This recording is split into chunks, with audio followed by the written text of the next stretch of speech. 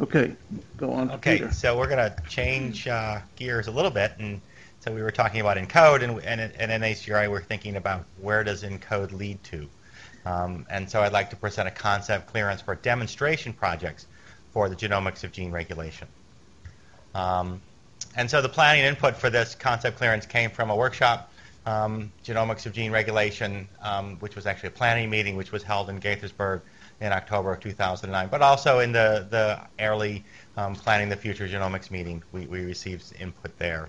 Um, so I'm going to go over briefly the Genomics of Gene Regulation meeting. Um, it was about a year and a half ago, and the questions that were addressed at the meeting, you know, how close can we get as a scientific community to the goal of complete understanding of the rules of gene regulation? You know, what more will we need to learn in order to get there? Um, and then what genomic approaches to this challenge are both valuable and feasible over the next five to ten years. Um, some of the conclusions, and I'm not going to go through the whole list of conclusions, recommendations from the meeting, but I'm picking, cherry picking ones that I think are of, of what helped guide us in, in putting together this concept clearance are. In terms of basic knowledge, we need to obtain more detailed information about the structure and in the longer term dynamics of chromatin and how it relates to expression. Um, another recommendation is additional, obtain additional validated example gene regulatory networks. Um, they also talked about technology development. As Elise pointed out, um, we actually had a concept clearance uh, in February of, two, of, of this year um, for the technology development for high throughput functional genomics uh, that Mike Pazin presented. Um, and then finally, their recommendations for resources projects was to establish and carry out high throughput functional tests for DNA and RNA elements that control gene expression. Um, prioritizing intelligently, including perturbation methods, and in the longer term, genomic manipulations. Um, with these um, planning meetings in, in mind, we set forth to put to make a genomics of gene regulations concept clearance, where the challenge is to identify the regulatory elements and to understand how they interact to drive gene expression. Um, so this goes to the, the, the broader goal of to you know, you like to be able to read a gene, gene DNA sequence and predict where and at what levels a gene is expressed. Um, we think that ENCODE and ModENCODE were a start. They developed an initial catalog of functional elements, and we have to be very careful about what we mean by functional elements here. Um, the catalog that ENCODE generated were sort of functional elements that could be defined by a biochemical assay. So does a histone mark, does it map to a particular region of the, of the DNA? This does not mean that we've identified all the enhancers, all the transcript promoters, et cetera, of the genome. That relies on integration of the data. I think we're getting better, um, but I think this needs to be improved. Um, so again, the goals, uh, we'd like to, to, to demonstrate that genomic data and genomic technologies can be used to advance the understanding of genetic regulatory systems. And um, I think that the way to demonstrate this is, is you generate a model that is experimentally tested. Um, and um, I'll confess something here that this slide set initially said a predictive model, and, and I talked to Jill before this meeting, and I removed that because the sort of the connotations that it, it brings, and, and I don't mean to put Jill on the spot, but I think what we're talking about is, is developing models and then biologically validating these models. So the scope, what we expect uh, these projects to, to be is, is first of all, to, to select a well-established model system, one where you know a lot about it, um, take advantage of encoded and ModENCODE data where, where feasible, or if not, take advantage of other data. Uh, the LINCS data would be an example, the epigenomics data. Um, we would like to generate additional data on gene expression signatures of different cell states in the model system if, if necessary. Again, use, use available data sets if possible. And also if you need to generate additional data on relevant functional elements. So you may have a model system where ENCODE has a number of the transcription factor binding sites for this model system defined, but you may def- may need to find a couple of other ones in, to, in order to sort of de- develop the first model. And then the, the, the once you have the data, you want to generate a model about the biological role of the functional elements and how they interact to determine the gene expression signature. Again, the goal is to identify the functional elements, identify how they interact with to, to determine a gene expression signature. Um, then we anticipate these, these awards will involve experimental testing um, of the predictions about the biological role of these functional elements and their interactions. So, for instance, if you predict there's an enhancer in front of a gene, um, you want to you want to test that um, either by putting it into a, a, an enhancer assay or taking it and uh, knocking it out, Um, similarly, if you propose this enhancer interacts with the promoter of the gene, you'd want to come up with some assays to test that. If you think that a transcription factor is, is particularly important in this enhancer, you'd like to take that transcription factor, knock it down in this model system, and then be able to assay the gene expression signature. Does the knockdown, does the perturbation give you the, the effect, the outcome that you, you anticipate? Um, finally, you'd like to see iterative improvements of the, of the model based on experimental results. It, it, the idea that as you generate more, more data on what works and doesn't work in terms of the data validations, you'll be able to develop better modeling. Um, and then finally, we'd like to think that, you know, by comparison of the experimental data and the models between the different participants, um, we'll be able to address questions like, are there generalizable rules for, for gene regulatory systems? So um, the mechanism and, uh, of support and proposed budgets, we are actually proposing a U01 cooperative agreement, um, but we, we anticipate that they'll participate in a GGR research network. Um, and it's, it's going to be sort of not a heavy-handed network, but one essentially that involves sharing results and making sure the data is released um, uh, as, as it's available. Um, we anticipate setting aside $10 million in total cost per year for three years. Um, and again, we're, we're thinking this would support five to eight cooperative agreements.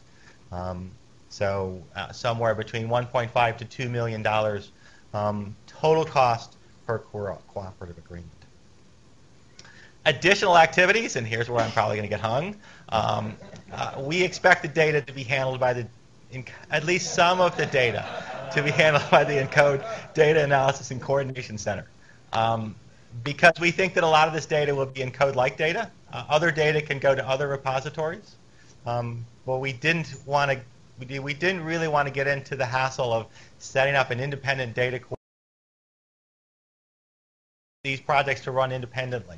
This is not a situation where we're expecting all, all of the groups funded under this network to generate a single product. We're asking them to explore what they can do with current technologies and current um, and, and current infrastructure. Um, we also anticipate um, that we we also put out a program announcement for R01 awards for to fund additional analytical efforts. Um, this would involve no set-aside funds, but they would compete against regular NHGRI funds. Um, and what we initially thought about is just to support methods to develop better models of gene regulatory systems. Um, and any, any sort of technology development that's required for, for the informatic handling of this data. Um, and so I think that's where I'll leave it to questions. Um, so I'll take questions now. Brett. I, I, don't. I don't think you get hung. I think that people thought that was a good thing to do. Uh, well, the cost yeah. is, is the question because we we we probably underestimated the cost given the discussion that we had earlier. Can can you talk about how things that would fall into that third category here might relate to things that fell into the third category in the previous one? Um, again, I think I think since since these are more exploratory centers on how to do something, they're not so much. I think the third tier things for the ENCODE project were to enhance the utility of the data, to develop new methods of, of either you know generating new biological insights um, or correlating with disease studies or improved methods. In this case, we're actually it's more of an informatics technology development that will help this type of research um, that um, so that you can improve on either either interpreting the data or I mean I haven't said the word visualization so that you can improve on the visualization of, of the of the models that come out to allow the scientists to sort of get wrap their heads around it. So I, I would characterize it as the difference between really a, a, a, community resource project um, and GGR. I'm not saying it's not a community research project. It would have you know defined data release policies, but it's it's more of an experiment, and each groups will be you know pushing their their technology of, and their system. Ross? Uh, so uh, this is harkening back to our previous discussion about ENCODE, and I believe, Claire, you asked if, uh, if the aim of the next phase of ENCODE was to finish, completeness. And, and, and personally, I cringe every time I hear this term we're going to complete, we're going to get a complete catalog. But uh, and that's that background. That's why I really like this concept clearance a lot. It, here's something where you've got a defined uh, goal. You can quantify it. You can see how close you come. If our ability to predict patterns of regulation is only 20% of what you want to be, uh, we need to find that out, and and we can um, move. Uh, I mean, we the field can move in, a, in an orderly way towards uh, a goal that is well defined. And I, I think this is just fantastic. The the, the, the, the concept. Now, there's no no dollars for the DAC in this, right? There's no dollars for the yeah, DAC. so that just, I mean, I guess just to state the obvious, uh, that yep. I would emphasize even more the, the, the, need for, for those funds. But I really like the But again, idea. hello. I look at this there as I don't want to be any activity in this meeting. If you would like to stay on the line until others join, please press one. If um, not, I'll end the meeting. Maybe that's a statement on my presentation. Yes. Um, again, I don't want to. I, I, I, I, run into this struggle about I don't want to. There's so much. Um, the DACs are, are, somewhat problematic of getting data producers to, to submit to it, and I don't want. These, these are demonstration projects, and and and I, I, refer to it as a loose network. It's not like we're gonna. It's not like ENCODE where you're on the phone call with us um, more than you'd like to say. Um, so, uh, but I do want that. That's why I say I wanted to try to get the, them submitted to the to the ENCODE Data Analysis Center. Is, is it that the DAC has to have the wherewithal to handle the expectations, and, and, and if you if you if you're asking it to do so much, no one who's honest is going to put in a proposal. You know, it really has to be workable.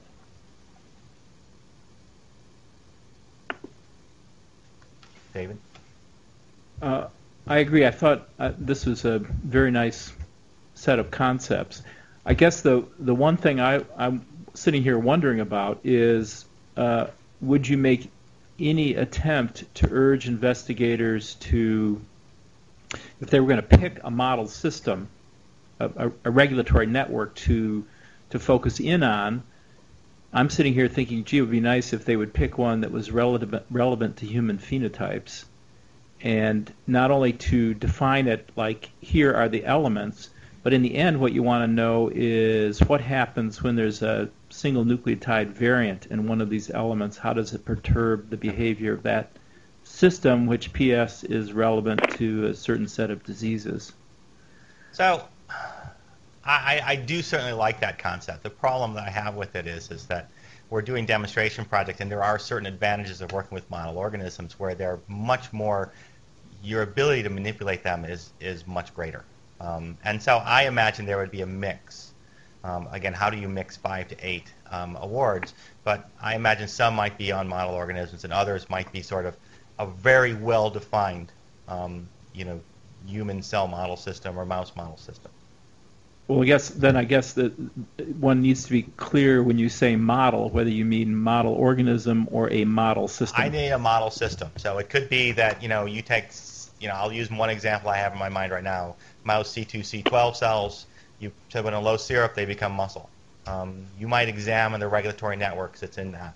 Um, now that doesn't have the disease relevance, um, but it may be that you you you look at induction of interferon induction of gene regulatory networks. Um,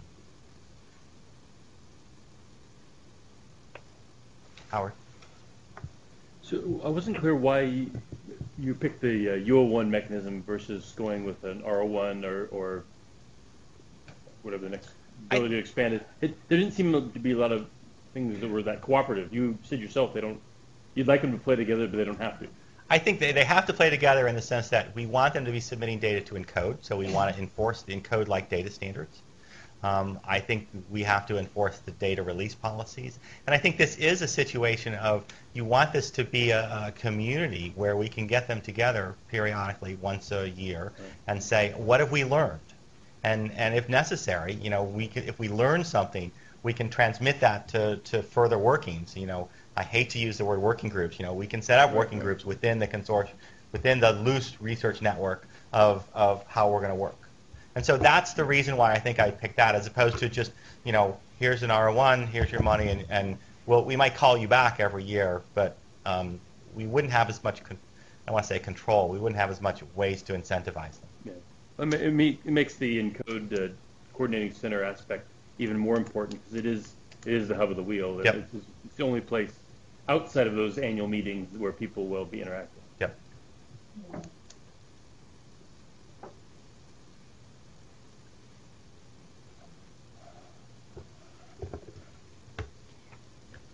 There is no more discussion? Well, actually, this is Dee Dee here. I just have a couple comments. I Go couldn't tell if it was a time to chime in.